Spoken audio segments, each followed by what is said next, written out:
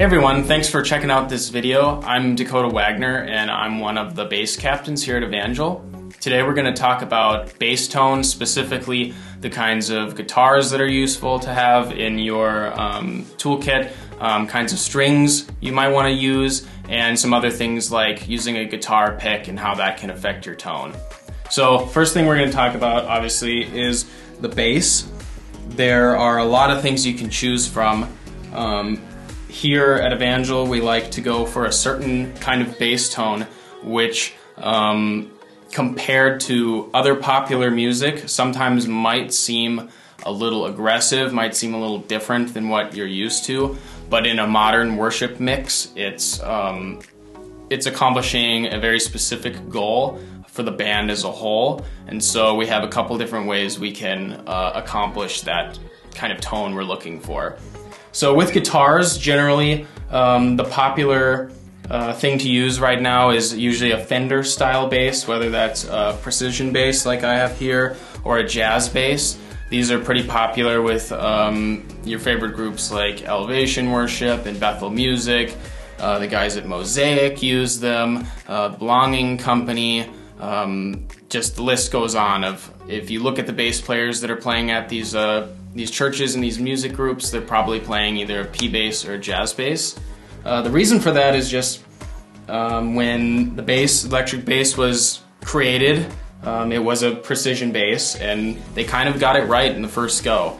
And with the fact that they're passive, they're not active, they don't have active pickups, it's just very simple. Um, the setup, they kind of just work and they work really well with pedals, which is going to be in our next video um, that we're going to cover. So they take pedals really well and they kind of just have a really good mid-range type tone that we're looking for in modern worship. So they're really simple, they're really accessible, and um, they would just work really well. So the bass I have here is a precision style bass, which just has uh, one pickup, one volume knob, and a tone knob. And this is going to be one of the most common basses you're going to see. Um, so I'm going to go ahead and just play a little bit with fingers and then a little bit with a pick so you can kind of just see how it sounds. So this is just with fingers um, and the tone knob all the way up.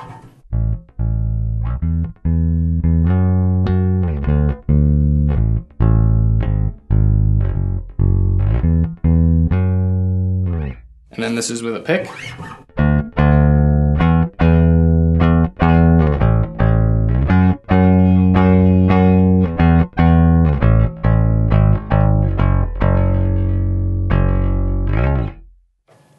So it has a really good, uh, clear, defined mid-range um, that really works really well in um, modern worship mixes. The next bass I'm going to show you is going to be a Fender Jazz bass.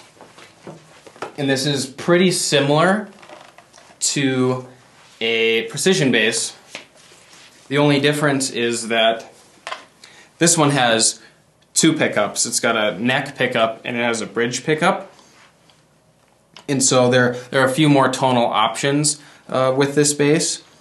Um, and so I'll go ahead and kind of walk you through what each of the pickups sound like and then um, show you some finger style and with a pick.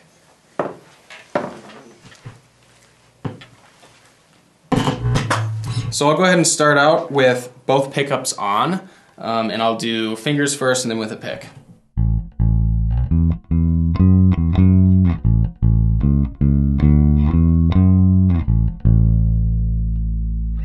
Is with a pick.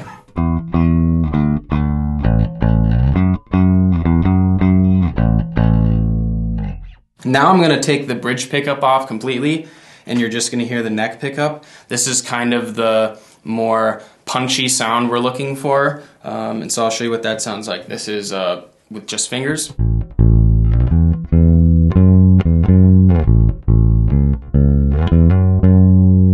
And then this is with a pick.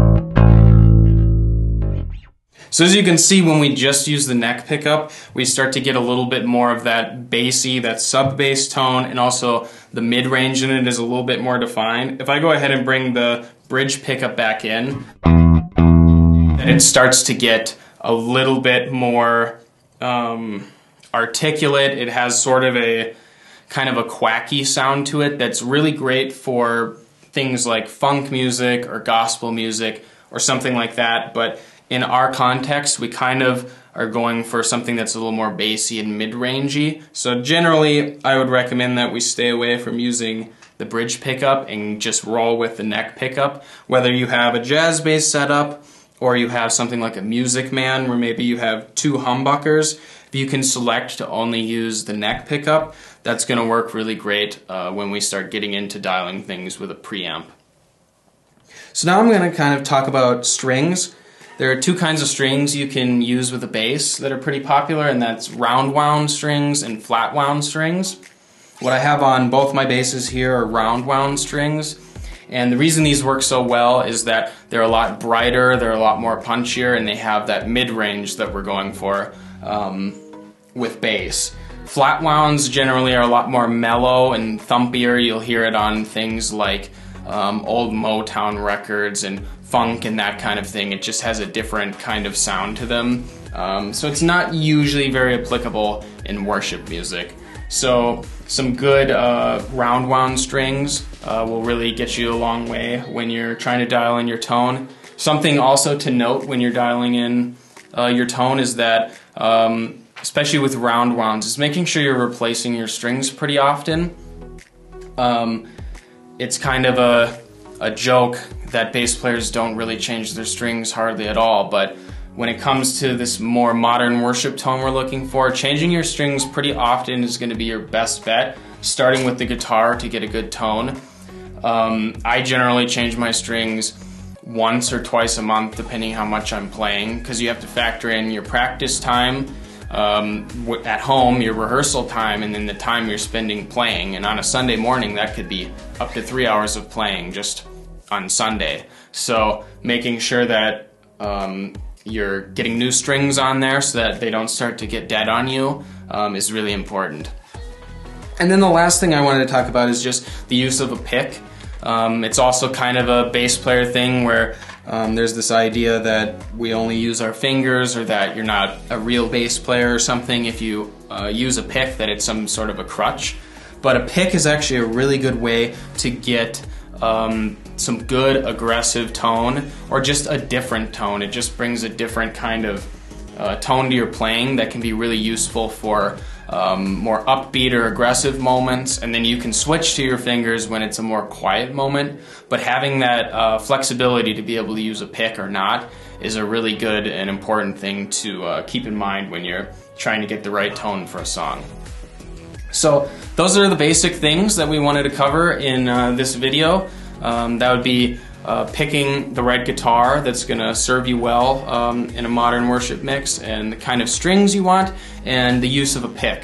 So if you have any other questions, you can leave a comment down below and one of us will get back to you. And um, yeah, thanks for checking this out.